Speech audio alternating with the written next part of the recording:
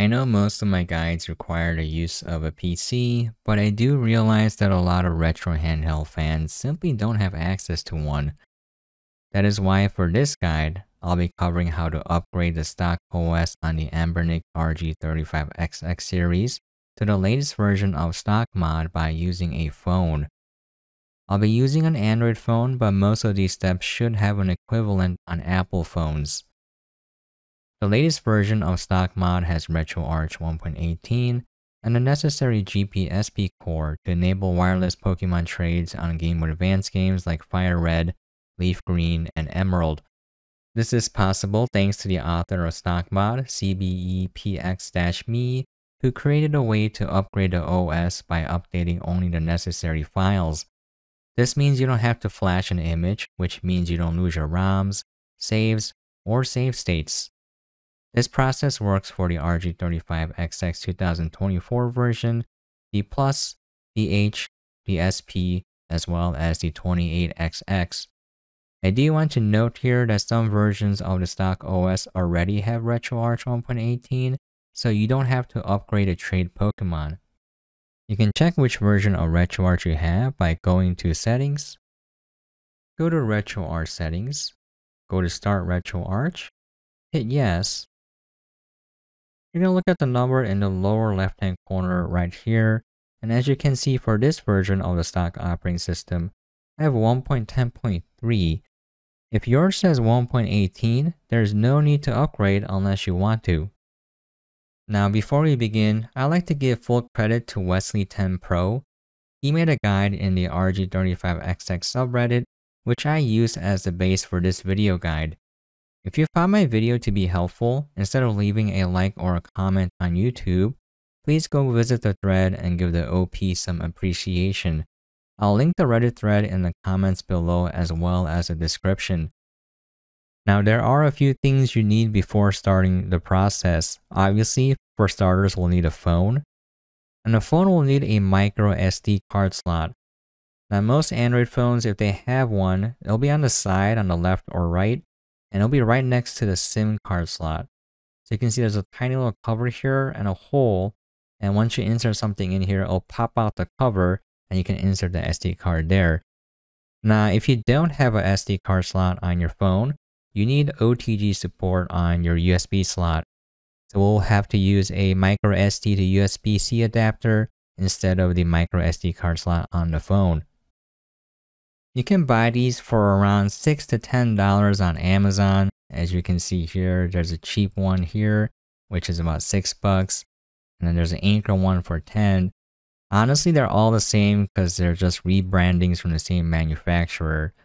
Now, if you want to save money but you're willing to wait a week or two for shipping, you can buy them for roughly 2 bucks on AliExpress. You can just make sure that you check the store ratings to see if it's legitimate and never put in your real phone number or your credit card information and always use PayPal if you're going to use AliExpress.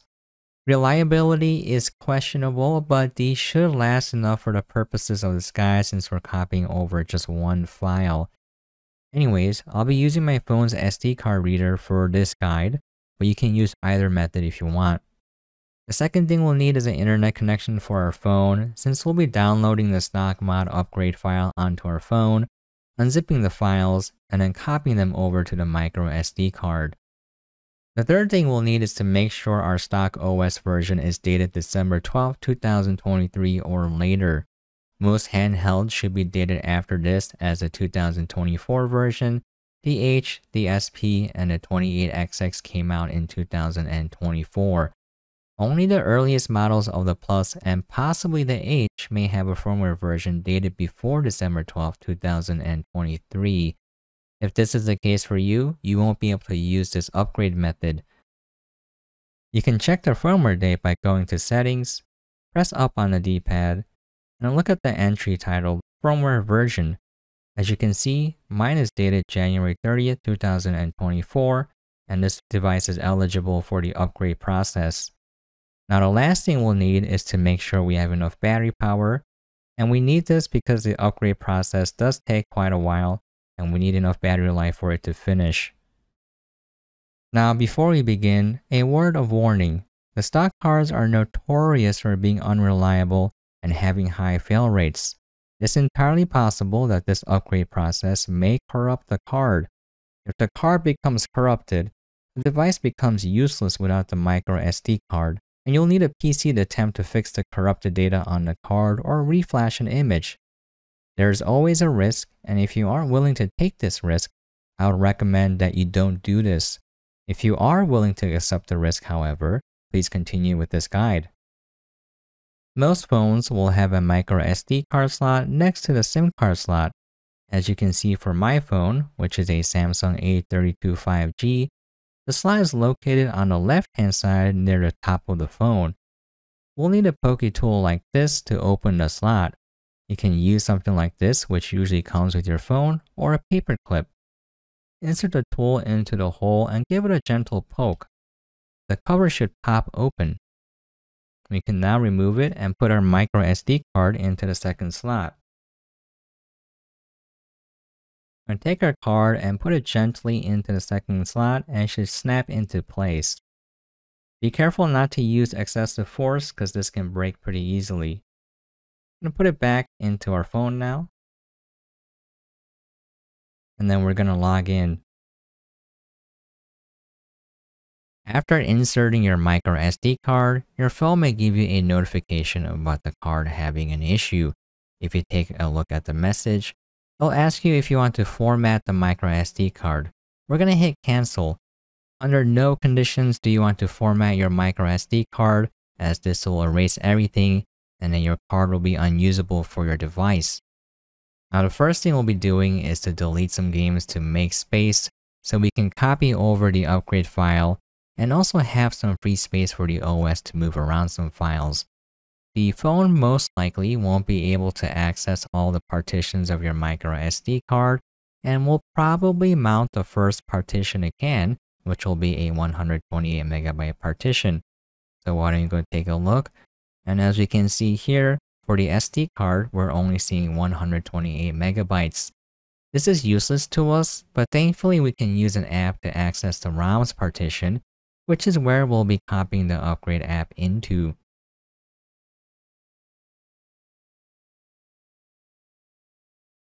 The app we'll be using is the SanDisk Memory Zone app, so why don't we go look that up.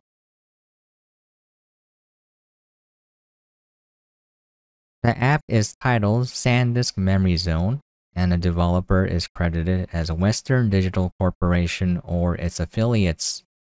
We're going to install this app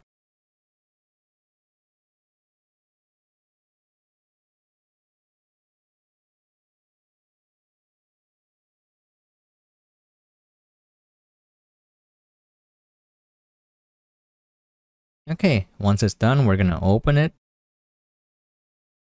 We're going to accept the EULA, and then I'm going to choose to opt out of the data collection because I don't want to share anything, and we're going to skip the initialization process, and we're going to give it permissions to access all files. Alright, once that's done, we're going to go to My Files. We're going to go to the micro SD card, and then we're going to go to the ROMs folder. The easiest way to make space is to delete the two largest PSP games. So we're going to go into the PSP folder. We're going to be deleting God of War, Chains of Olympus, and also Grand Theft Auto Vice City Stories. We're going to hit the little icon at the right, and we're going to select delete. We're going to wait for the deletion process to finish and I'll say done at the very bottom and we're going to click done. We're going to do the same for GTA Vice City Stories.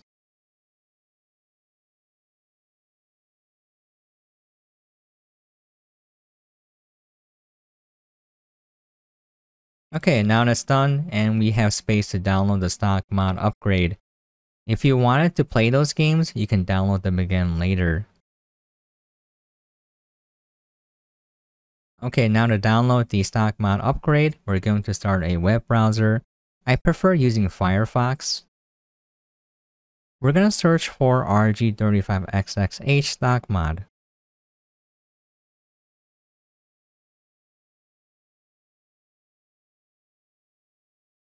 I type very slow because I'm a boomer. We're going to be looking for the second link here. We want to make sure that it is the GitHub page for CBEPX-me, which is the author of the stock mod OS. Now once we're in the site, I'm going to switch to desktop mode because I hate the mobile versions of the website. We're going to go on the right hand side and click on releases. We're going to scroll down to the download section here. To click on that link.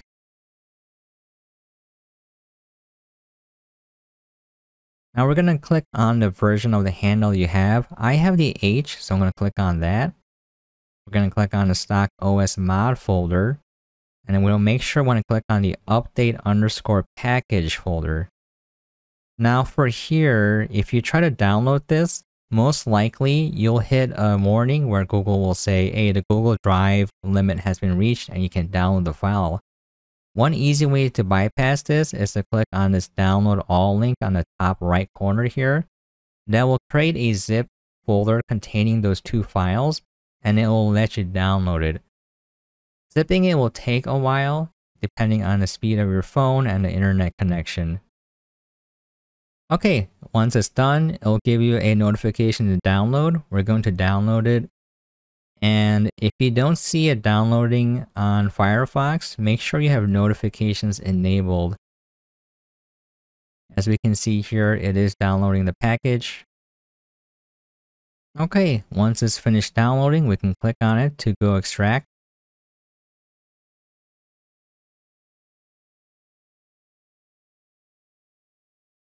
Okay, once that's done, we're going to go inside the folder and then we're going to click on the .7z file.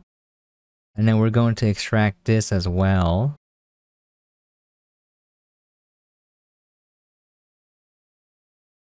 Okay, once that's done, we're going to go copy the ROMs folder onto the micro SD card. And we're going to do that by using the SanDisk app again. So I'm going to pull it up.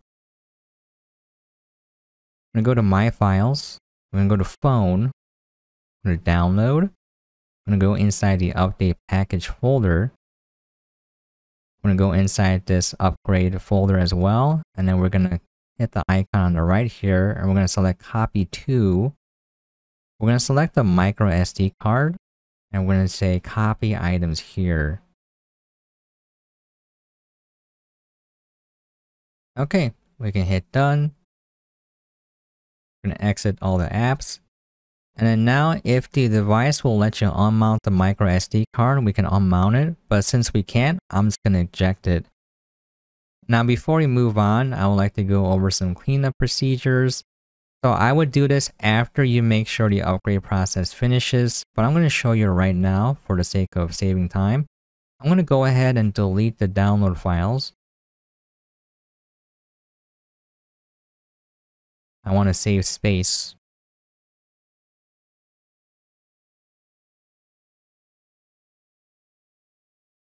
Okay, so that's deleted. And then I'm going to go uninstall that app because I don't like having a lot of apps on my phone. Go to apps, go to memory zone. What I like to do is force stop the app, go to storage, clear cache, clear data, uninstall. And if I don't really like the app, I will go into Google Play Store and then go to uninstalled and then just remove it from my account. I know I'm a little OCD, but I like to keep my phone clean. Anyways, that finishes the micro SD card on the phone. We're gonna move on to the handheld now. Now, sometimes people make the mistake of putting it into TF2, then it won't boot. Make sure it's in TF1, which is the left-hand side right here. Okay, now we're gonna go into RA game. We're gonna go press up on the D-pad to go to the last page, and then we're gonna go into the apps folder we want this app right here, RG35XXH upgrade 2024 04 28. And press A. Now this will take a while. For the sake of keeping this video short, I oftentimes shorten sections like this, but I will add in how much time it actually took so you can get an estimate of what the proper time is Okay, once this comes up, we're gonna hit yes. And once again, this may corrupt the SD card.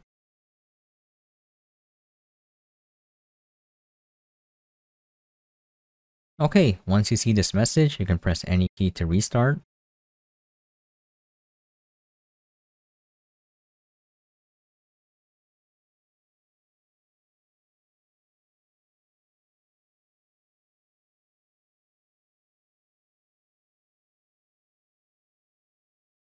This process will also take quite a bit of time as well.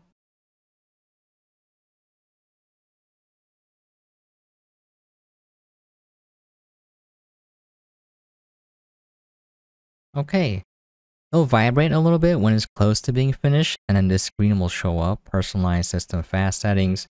I'm just going to keep it at default for now, but you can change it later.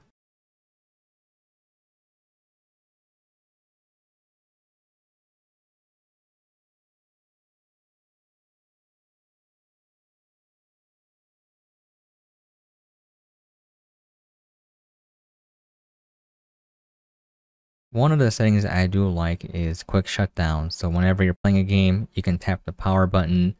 It'll be the same as Onion OS where it'll create a save state and then shut down the game. And when you reboot, it should load into the game. All right, once we're in here, we're gonna go to settings. The first thing we're gonna do is turn off the stupid button sound. Nice. So much more bearable now. We're gonna go up into RetroArch settings we're gonna say start RetroArch. We're gonna confirm. Alright, now if you look in the lower left hand corner, it's a bit blurry. Let me refocus it. Now if you look in the lower left hand corner, it says 1.18 and this is what we need. We're almost there. So after you connect to Wi-Fi, you just need to make one tweak to GPSP. We're going to go into RA Games. We're going to Game Boy Advance, and then we're going to go to a Pokemon game. Okay, so Pokemon Fire Red, we're going to press Y to change the core. We're going to select GPSP, and then we're going to hit B to back out. Now, I don't know why this happened the first time, but when I was selecting the core, I couldn't exit the menu. If that happens to you, just turn the console off, turn it back on, and go back to the game and make sure that the core is GPSP. So we're going to start the game now. Alright, when we're in the game, we're going to press the menu button on the top. We're going to go scroll down to core options. We're going to go down to link cable connectivity and we're going to set this to GBA wireless adapter. And we're going to back out. We're going to go into net play. One person will host, the other person will connect. Now you need the IP address and if you ever forget your IP address, we can go into the main menu, go into information, go to network information, and on the bottom here, or one of these entries will contain your IP address. 127.0.0.1 is the IP address that you use to access the device itself, so this is not the actual IP address. Alright, that's gonna be it. I hope this guide helped. Once again, huge thanks to Wesley and also the person who authored the stock mod. I think it's fantastic. If you found this guide helpful, please go visit the Reddit thread and give the OP thanks. They did a great job in making that guide. Anyways, if you guys have any questions, you can feel free to leave a comment and I'll try my best to respond to you as fast as possible. I know that people want a guide where they can flash a custom OS for any handheld or format a micro SD card of any size, but it's kind of hard to do on Android right now without rooting the device.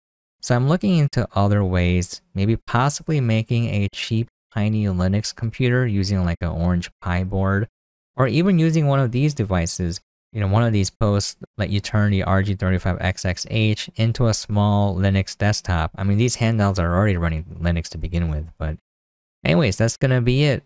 Thank you so much for dropping by and watching. I hope this guide helped, and as always, hope you guys are staying safe and sane out there, and catch you guys next time.